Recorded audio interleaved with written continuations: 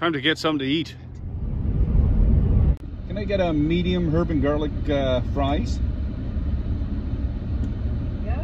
And that's everything. Any condiments for the fries? Caesar fries? Uh, no, no thanks. 507, first window. Thank you. Thank you. You're welcome. 507, that's a little pricey, don't you think? How are you today? Dave, how are you? Good.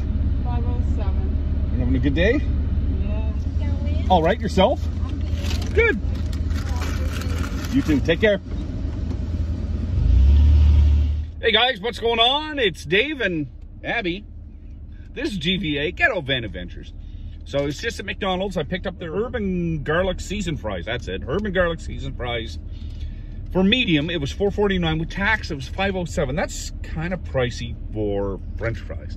Now, I opened it up to take out this and the uh, napkins, and it smells really good. It reminded me of chicken parmesan. Anyway, it smells really good. Abby's sitting waiting patiently. I don't know if she'll like this, but anyway, this is what you get.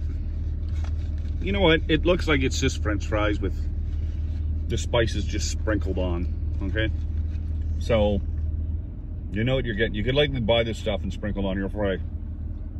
It's covered. Now, I see lots that don't have a lot on it, but let's give it a try.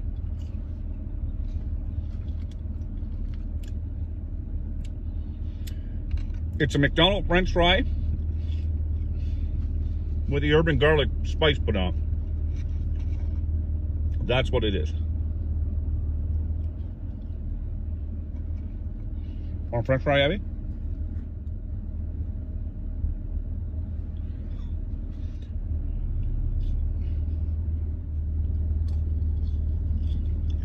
Now, before you guys say anything, there, it's a it's a lot on these two, but it is pretty good.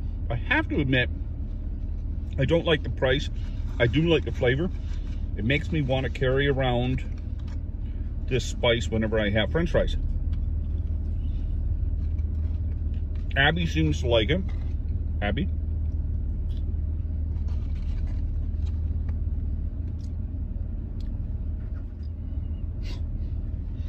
So gentle.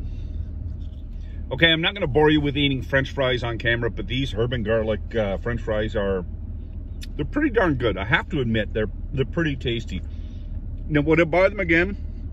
$5.07 for medium fries? No, probably won't.